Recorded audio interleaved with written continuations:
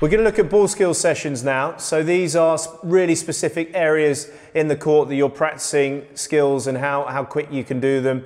This can be a standalone session, but you can also mix and match this with your own uh, standard shot solo practice, but also within routines just before you're playing a match. They're very, very, uh, there's a lot of variability in these, which is great and very varied. So we'll have a look and show you some of the exercises uh, that we can do. Peter's pretty up for this, so it's going to be exciting. All right. So we're going to start with the, the, the figure of eights, but to start with off, off the floor, off the ground. It's quite a nice way to kind of gradually get warmed up. Body position on the tee. He's primarily hitting the ball underneath the cut line. That's nice. And now we're going to go from this one into the actual figure of eight volleys. So the figure of eight volleys.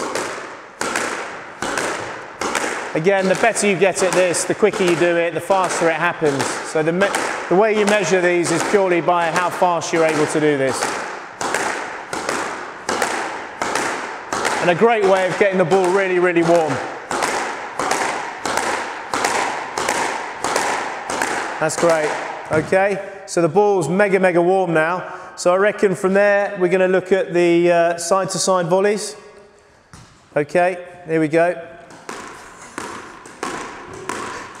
Doing this with a mega warm ball is very, very difficult and I'm quite surprised how well he's doing this. This is a very hard practice.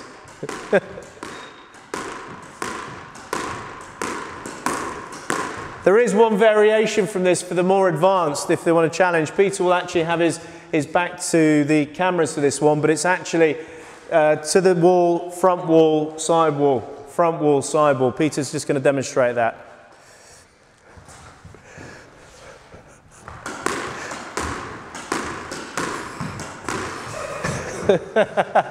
that is mega advanced. Uh, there's a few players that I know can do this, but Peter's not one of them. Um, so if we go on to, if we go from the volleys and we go into the service box area, let's have a look at that one. So this is a wonderful one. It looks very basic, but I can assure you that he's looking to hit it underneath the short line. This is brilliant for racket head speed off the ground. Good body position, strength of base, keeping the ball nice and tight. You have to really get your preparation up.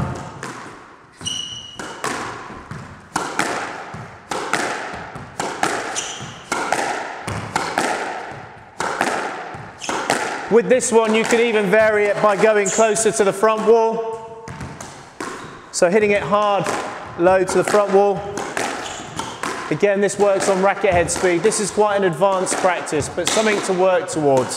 Okay, Peter, that's great. Thank you. So he would replicate that on the backhand side. He would do that on the backhand side. And now we're going to go back to some volleys. I'd like you to do the, the, the corner to corner volleys now. Very, very good for racket head speed and racket preparation going from forehand to backhand with the swing. His racket's up all the time. So it builds a huge amount of strength. Also with solo practice, it builds so much strength in your forearm and your arms. Honestly, this is, you'll feel, Peter will feel that his, um, his heavily tattooed forearm is actually filling up with a lot of blood. Have you got the nice pump on there? Yeah, you can see that. He's got great forearms.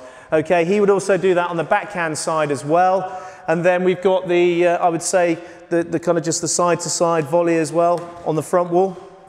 So would you, Peter's starting a bit closer. He can move back to the tee a little bit on this one. This tests the angle that you're hitting on the front wall. So this, you have to get the angle really nicely right, which is a skill in its own right.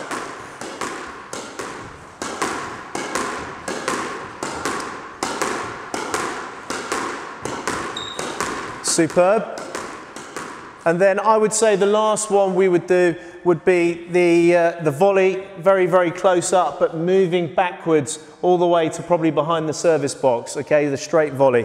So he'd start off, so the basic amateurs would start off here. This is really nice. Again, you can see he's grooving his swing. This is fine. You can practice it. As you get more confident, start to move backwards, getting further and further back. So eventually, Peter will be looking to be around about service box area, just behind the service box.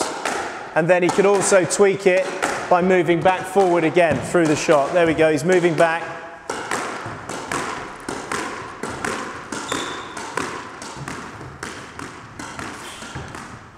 Brilliant. Thank you very much. That was awesome. Really, really good. Really good.